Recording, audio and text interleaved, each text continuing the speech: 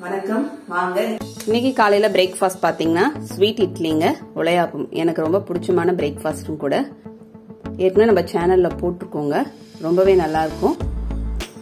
தேங்காய் பால் ஊற்றி சாப்பிடும்போது பார்த்தீங்கன்னா ரொம்பவே சூப்பராக இருக்கும். இது நம்ம ட்ரெடிஷ்னல் ரெசிபியும் கூடங்க. லஞ்ச் மெனு பார்த்தீங்கன்னா நல்லா சுட சுட சீரக சம்பா அரிசியில் செஞ்ச மட்டன் பிரியாணி. சாதம் பார்த்தீங்கன்னா நல்லா புல புலன்னு வந்திருக்கு. ஏற்கனவே மட்டன் பிரியாணியும் கூட நம்ம சேனலில் போட்டிருக்கோங்க. சைடிஷ் பார்த்தீங்கன்னா தயிர் வெங்காயம். அப்புறம் ஈரல் மிளகு வறுவலுங்க.